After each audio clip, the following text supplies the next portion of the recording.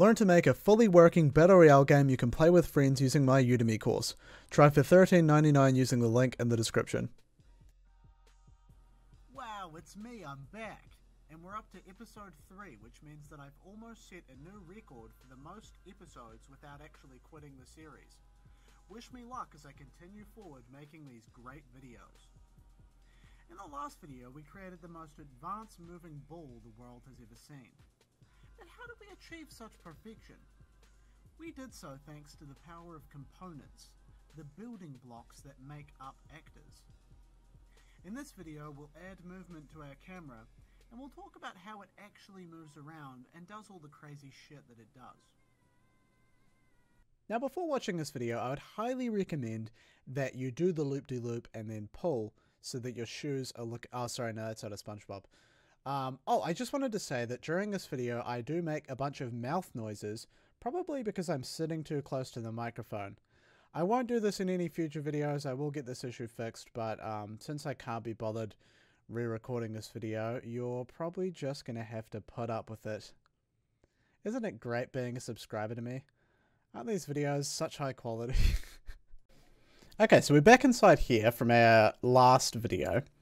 And in this one, we're going to show you how to add movement to the camera, among some other things. In the last video, we went into C++ classes and dragged our sphere pawn into the level. So you can see here's our sphere pawn that we had. And then we clicked on static mesh and we set the static mesh up to be a sphere. So if I type sphere, uh, I think it's like that one. Right, and then and then if you type in possess, you can test the pawn out. If you click on this and then select player zero. This is what we had in the last video. You can move the, the pawn around. And as you can see, it's very good and it's very fun to play as. But let's make it a little bit more fun by adding um, camera movement. How do we add camera movement? So I'll show you how to add camera movement, but I just want to show you one quick thing, and that's the blueprint system. People get a lot really confused about like what blueprints do and stuff like that, but let me show you one really quick use for blueprints. So here's my sphere pawn, and you notice I had to do all the work. I had to click on static mesh, I had to select sphere, and do a bunch of setting up and stuff, and eh, it's kind of, it's, it's a bit gross to have to do that, right? So what we can do is we can right click on the sphere pawn and then create a blueprint based on the sphere pawn. And I'll just put this in the content folder, and I'm going to call this BP, meaning blueprint, and then underscore sphere pawn. And now I have a sphere pawn, but he's kind of like what I'm making here is like a preset. So let's click on static mesh and we'll select sphere for the static mesh. There it is. I don't like that one. There's this other one here. It's smaller. Let's, let's use that one. It's nicer. Anyways, so what that does is now I can drag these sphere pawns into the level. So now I skip the step of having to set up all that stuff because that's kind of annoying. The other advantage to blueprints yeah, sure, it's like a nice preset, it's a nice way of setting stuff up, but the other really cool thing about these blueprints is that they have their own scripting language. Like we can do we can do all this stuff we can do in C++, we can do it here inside what is called the event graph. But this is a C++ course, so we probably won't touch on blueprints much. Just know they're really powerful and you can build your whole game of blueprints depending on the game. Um, I mean, obviously, games that require a lot of performance, you really don't want to be too reliant on Blueprint, but you could technically make a, a whole game in, in Blueprint. So anyways, let's talk about how to set up camera movement. And, um, and we're going to do a couple of things here to, to make this work. But anyways, let's go into our code here. And you can see that I'm still running my project. So let's just click this little stop debugging. And unfortunately, what we're doing in this video is really, really similar to what we're doing in the last video. So you're probably not going to learn that much more. But you remember we had move forward and move right. We're going to set up these axis events again, but just for turning this time. So turn by amount and also look up by amount. And we have these input axis events that are set up to do all this stuff for us. So let's go into the spherepawn.cpp class. And, oh, oh, I forgot. I forgot about this. People are telling me they can't read stuff, so we'll make that bigger. There you go. I always forget to do that. Anyways, so um, we're going to go to player input component and we're going to bind an axis.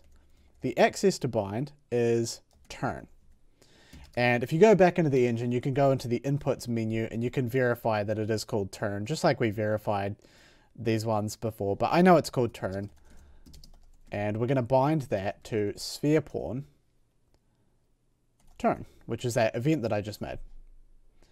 And we're going to do the exact same thing. This time we're going to do it for look up. And we also need to have this as look up.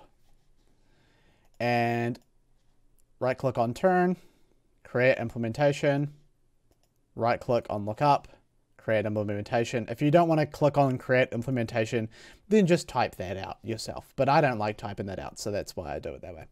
Okay, so what we're going to do is we're going to enable turning, but I want to explain how I'm achieving this. The pawn gets possessed by something called the controller. The controller, as you might kind of know it, is the thing that, that is controlling the pawn. It's the part of the pawn you can't see, right? So the pawn, you can see it moving through the world, but think of the controller as kind of like the spirit that is taking control of the pawn. And the controller, the spirit, has its own rotation, and we use that rotation generally to control the rotation of the camera and a bunch of other stuff too if you want. But just know that your controller, even though you can't see it in the world, it has a rotation. So what I'm going to do is here inside of turn, I'm going to add controller yaw input. Yaw means uh, sort of like left to right rotation. And we're going to add controller yaw input amount. We then have this other thing look up and we're going to add controller pitch input, which is like up and down. And that's all we're doing. Then what we're going to do is we're going to say we want our pawn, the thing being controlled, we want that to have the same rotation as the camera or as the controller, the spirit taking control of the pawn, right? So um, the way that we do this is there's a couple of flags inside of this pawn class that can be set. Uh, B, use controller rotation yaw, just say that's true. And B, use controller rotation pitch, just say that's true as well. That's all you have to do. So we're adding this yaw input and then we're basing the pawn's rotation off that. So as these values change, then um, the rotation of the pawn's going to change. So basically, wherever we're looking will be our rotation, and then we can move around. And um, we'll do one other thing as well, just to just to make this cooler. But anyways, this this should work. So if you click on local Windows debugger, we can actually try this out. Okay, so I hope you still have your sphere pawn blueprint that you made. But if you don't, you can just go back to the start of the video where I made him and then just recreate that. So I've got my BP sphere pawn here and I'm going to drag him into the level. And in the details panel, we're going to search for possess, set that to player zero so that we can control it. And check this out. When I move my mouse, it will change the rotation. So now we're like a big flying orb that can move around the level. Now, I'd love to act like we're really great coders, but all of this movement, we didn't really make any of it, did we? I mean, this is all just harnessing the power of components. And to be honest, as the programmer, you probably want to know like how this is all working, right? If you're if you're a programmer, you're probably a little bit intrigued. You know, how is this possible? And we'll talk about that as well. But I just want to show you that if I move my camera, it can clip into walls. And that's not a good look. And you know how I've been talking about components? Oh, components, they're so great. You know, the pawn movement component will get your pawn moving around the level without writing any code. And just use components, they save you so much time. But components are great. Well, there's actually a component that will stop our ca uh, camera clipping into the wall. And that's called the spring arm component. Basically, the goal of it is if anything is coming between the player and the camera, just move the camera so it doesn't go through the wall. So let's add the spring arm component um, to our pawn so that this annoying issue stops happening. Okay, I'm back inside of my code and we're going to add this spring arm component that I've been talking about. So the first thing we do is we're going to go to spherepawn.h and we'll just do the same thing that we've been doing for all of our other components. Basically just copy this, paste this in here, and just say instead of U camera component, just say U spring arm component. And I'm going to call this camera arm. So you can think of the spring arm component as kind of like an invisible component and you can attach things to it, like, for example, the camera. And if it detects a collision, it will just move whatever's attached to it to a better place. That's kind of the best way I can describe it. You'll see when it's in the when it's in the game. It'll make so much more sense. Um, and also what you need to do is you need to copy this floating pawn movement and change floating pawn movement to uh, spring arm component. So that's where the spring arm component is. You need to include that. What we're going to do is we're going to create the spring arm. Um, and I called it camera arm. And we need to create that. Use spring arm component. The name is going to be spring or camera spring arm, I suppose. And we're going to attach the spring arm to, so set up attachment, and we want to attach it to the static mesh. Now, this is really important. The camera was previously attached to the static mesh, but the camera arm will only move stuff out of the way if it's attached to the camera arm. So we need the camera to be attached to the camera arm. So you need to change this part to camera arm. So we're creating a, a, a camera arm, we're attaching it to the static mesh, and then we're attaching the camera to the camera arm. You must also set the length of the camera arm.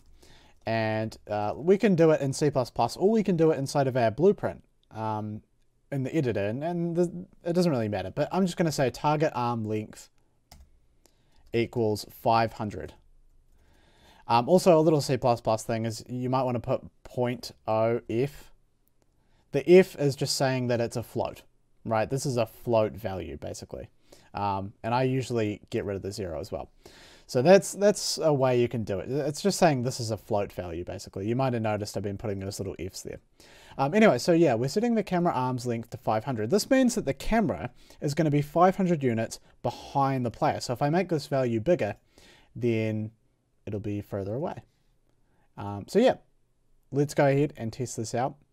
And while we're sort of waiting for this to compile, um, I've been telling you guys all this stuff like, oh, you know, you, you add input vector and that makes it move. But what is this doing behind the scenes? Well, because Unreal Engine is not closed source, we can take a look at all this great stuff that's going on. So let's right click on floating pawn movement here and click on, oh, right click on floating pawn movement and then go to definition. And you guys are obviously beginners to Unreal. You're not going to be understanding all of this right now. This is this is fairly complicated stuff that's going on. But if we right click here and then uh, toggle the header file so we can look at it, this is what's actually going on behind the scenes. This is all of the code, all of the collision checking, um, all of the velocity handling and all that stuff like that that's actually moving our player around. So you can go and look at the code that's doing this. The best part about this is that Unreal has like tested this code hundreds of times, right? And what that means is you can be absolutely sure that your movement will not have a bunch of bugs in it because you're using the power of the floating pawn movement component and this has been tested by Epic so many times. This code is really sound, it's really efficient, it's not a lot of bugs, and it's just really easy to use. So that's awesome. That's that's that's why I would recommend wherever you can, harness the power of the engine. It is there to be harnessed. Also, because the camera is attached to the camera arm, and the camera arm is 500 units long, we can actually get rid of this line of code where we place the camera behind the player. Because by attaching it to the camera arm and making the camera arm 500 long, it'll, it'll now be 500 units back, as you're about to see. Okay, let's take our BP sphere pawn, let's drop him into the level and check it out. There it is. So, so this red line is the spring arm. Now you can't see the red line in the game or anything. This is just used to visualize the spring arm because since you can't see it, it's nice to be able to visualize it. And um, we're gonna go into possess and player zero just so we can test this out. Okay, check that out. Isn't that cool? So, so when my camera is is sort of colliding or the spring arm's colliding, the spring arm's going to adjust the position of my camera so it doesn't go through walls. And this should work with anything as well. Like, yeah, when I get up to these walls, it, it will just not let me inside the walls. So that's a really cool way to add some, I guess, polish to your character. And it, it solves a pretty common problem. there's a, a bunch of um, different stuff you can do with the spring arm, by the way. If I open up my BP sphere pawn, in the list, oh, we have to click on open full blueprint editor. But in the list of components, it has the static mesh, the camera arm, whatever. And in the details panel, you can change all this stuff here. So for example, um, if I click on camera arm, there's an option called use pawn control rotation. Um, so you might click on that and then you might then go into the sphere pawn and turn these off. So we, we enabled these from C++, but you can uncheck these to unenable them again.